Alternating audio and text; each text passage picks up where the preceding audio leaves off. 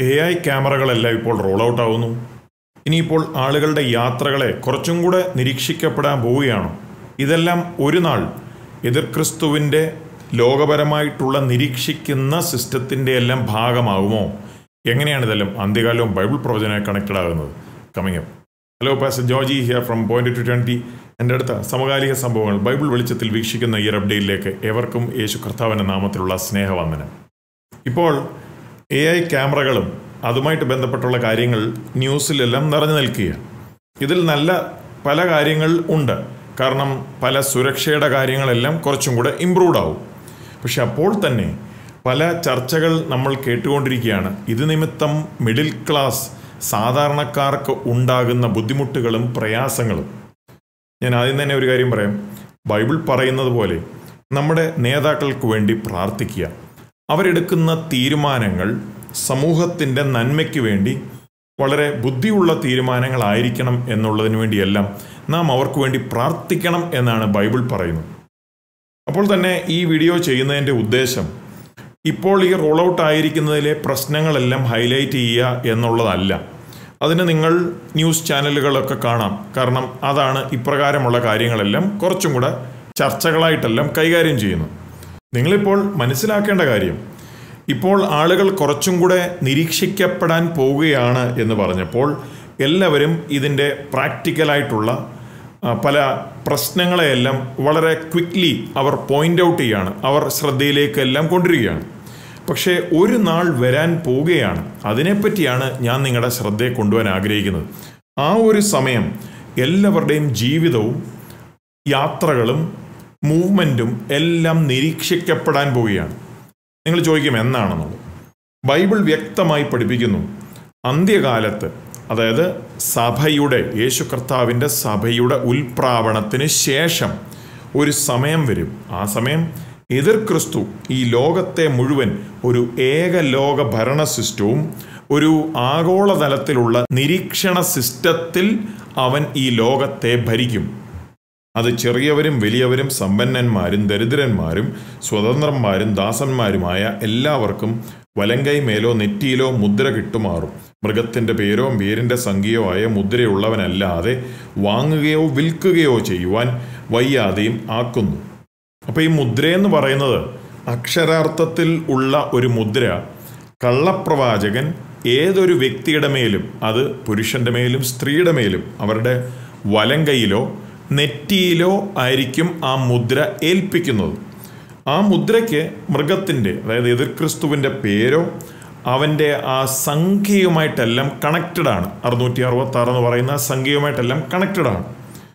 ഇത് കാണിക്കുന്നത് അതായത് ഈ മുദ്ര ഏറ്റെടുക്കുമ്പോൾ ചൂണ്ടിക്കാണിക്കുന്നത് അത് ഏറ്റെടുക്കുന്ന വ്യക്തി മനഃപൂർവമായി ബോധപൂർവമായി സ്വമനസ്സോടുകൂടി അവർ അമൃഗത്തെ അല്ലെങ്കിൽ പൈശാചിക എതിർ ക്രിസ്തുവിനെ നമസ്കരിക്കുന്നു എന്നാണ്.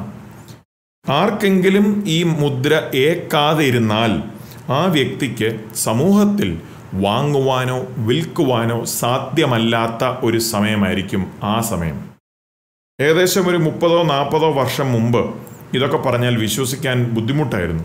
പക്ഷേ ഇപ്പോൾ ലേസർ സ്കാനുകൾ ഇംപ്ലാന്റബിൾ മൈക്രോ ചിപ്പുകൾ കമ്പ്യൂട്ടർ നിയന്ത്രിതമായ ഫൈനാൻഷ്യൽ സിസ്റ്റം ഡെബിറ്റ് കാർഡുകൾ ക്രെഡിറ്റ് കാർഡുകൾ സോഷ്യൽ സെക്യൂരിറ്റി കാർഡുകൾ നാഷണൽ ഐഡന്റിഫിക്കേഷൻ കാർഡുകൾ barcode retina scanner surveillance camera C C T V ക്യാമറകൾ എന്തിന് നമ്മുടെ സാധാരണ മൊബൈൽ ഫോണുകൾ ഇവയെല്ലാം തന്നെ ഉപയോഗിച്ച് ഒരു വ്യക്തിയുടെ യാത്ര മൂവ്മെന്റ് ലൊക്കേഷൻ എല്ലാം തന്നെ നിരീക്ഷിക്കുവാൻ സാധ്യമാണ് എന്നൊരു ലോകത്തിലാണ് നാം ഇപ്പോൾ ജീവിക്കുന്നത്. അപ്പോൾ ആ മഹോദ്രവ കാലത്തിന്റെ അവസാനത്തെ ആ മൂന്നര വർഷത്തിൽ അല്ലെങ്കിൽ ആ മഹാകഷ്ടതയുടെ സമയത്ത് മാനവജാതി അദൃശ്യമായ ഒരു എക്കണോമിക് പ്രസൻ സാമ്പത്തിക കാരാഗ്രഹത്തിൽ ആയി വരുന്ന ഒരു സ്ഥിതിയാണ് നാം കാണുന്നത്. ലോകപരമായിട്ടുള്ള ആ സാമ്പത്തിക രാഷ്ട്രീയ സിസ്റ്റത്തെ ആ അന്ത്യകാലത്തെ ആ സിസ്റ്റത്തെ എതിർ ക്രിസ്തുവും കള്ളപ്രവാചകനുമായിരിക്കും നിയന്ത്രിക്കുന്നത്. ആ മുദ്രയെന്ന് പറയുന്ന ആ മൃഗത്തിന്റെ മുദ്ര ആഗോളപരമായി എതിർ ക്രിസ്തുവിനെ ആരാധിക്കുന്ന ആ സിസ്റ്റമായിരിക്കും എൻഫോഴ്സ് ചെയ്യുന്നത്. അപ്പോൾ ആ മഹോദരവ കാലത്തിന്റെ അവസാനത്തെ ആ മൂന്നര വർഷത്തിൽ ആ മൂന്നര വർഷം കഴിഞ്ഞിട്ടാണല്ലോ ഹർമഗദോൻ യുദ്ധം വരുന്നത്. അപ്പോൾ ആ അവസാനത്തെ ആ മൂന്നര വർഷത്തിൽ എതിർ ക്രിസ്തുവും കള്ളപ്രവാചകനും പിശാജിന്റെ ശക്തിയാൽ ഈ ലോകത്തെ നിയന്ത്രിക്കും. അതൊരു ഭയങ്കര സമയമായിരിക്കും. ഇത്രയും നാളും മാനവജാതിയുടെ ചരിത്രത്തിൽ ഏതെങ്കിലും ക്രൂരമായിട്ടുള്ള ഒരു വ്യക്തി നടത്തിയിട്ടുള്ള ക്രൂരതയെക്കാട്ടിലും പതിന്മടങ്ങ് ഭയാനകരമായിട്ടുള്ള ഒരു സമയമായിരിക്കും എതിർ ക്രിസ്തുവിന്റെ ഭരണത്തിന്റെ സമയം എന്ന് ബൈബിൾ വിളിച്ചു പറയുന്നു.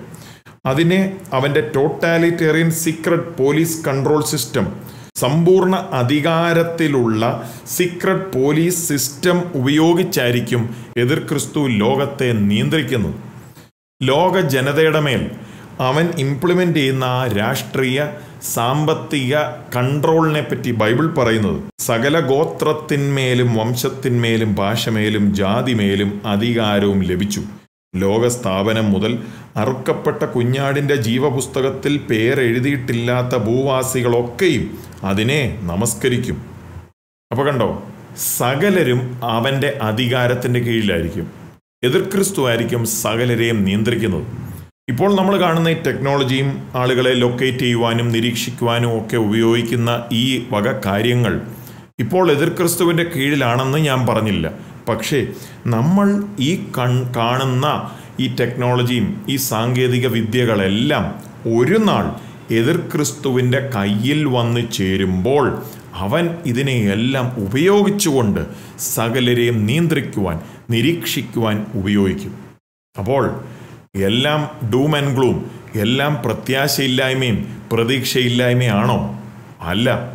ഞാൻ ആദ്യം പറഞ്ഞതുപോലെ തന്നെ എതിർ ക്രിസ്തു വെളിപ്പെടുന്നത് തന്നെ അല്ലെങ്കിൽ എതിർ ക്രിസ്തുവിന്റെ ആ ആഗോളപരമായിട്ടുള്ള ആ ലോകത്തെ ഭരിക്കുന്ന സിസ്റ്റം വരുന്നതിന് മുമ്പ് തന്നെ യേശു കർത്താവ് തന്റെ സത്യസഭയെ ഉൽപ്രാപണത്തിൽ ചേർക്കും.